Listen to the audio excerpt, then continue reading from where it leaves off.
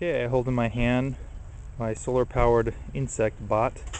Um, this is a relaxation oscillator circuit. It's charging and discharging its capacitor controlled through the FLED switching voltage. Uh, right now it's charging through the solar cell and you can see the pager motor, motor spinning pretty regularly, probably once or twice a second. Interestingly enough, if I point it away from the sun, still see it twitch maybe once every couple seconds so it gets a lot of reflected light through the solar cell.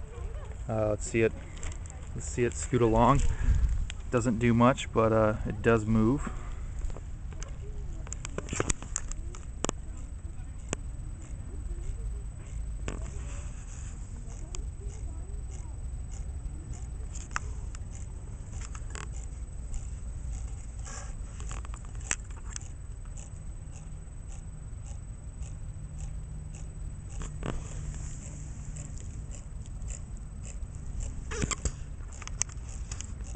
So that's the uh, solar powered Vibrobot.